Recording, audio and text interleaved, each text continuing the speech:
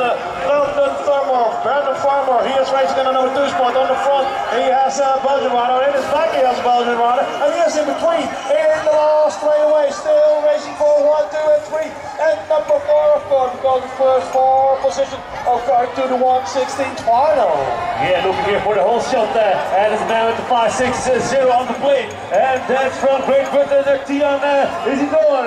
Isidore there on the lead. Who's there on the second place is the 190. Is the 190 from France, uh, Antoine Navrel. En dan zie je daar vanuit België is het. Seppe Kaas zit daar op 3. Uh, maar hier nog steeds aanleiding voor Great Britain. Tian Isidore.